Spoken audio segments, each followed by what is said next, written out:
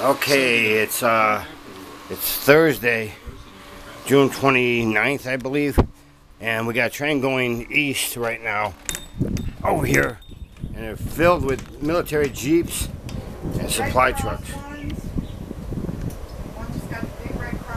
Yeah. Fucking tankers. Wow. I what those are.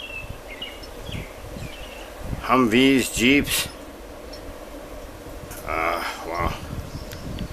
All going east, which would go out to, uh, maybe they're gonna have martial law and they're getting the, the uh, military vehicles across the country.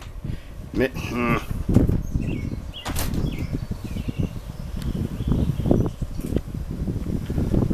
That's a pretty long train going east, like I said, outside of, um, well, that's going toward Humboldt, Tennessee. If you look at that, it's north of uh, Jackson, Tennessee, in the western part of the state.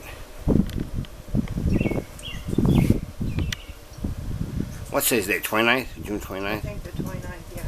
Thursday. That's it right there.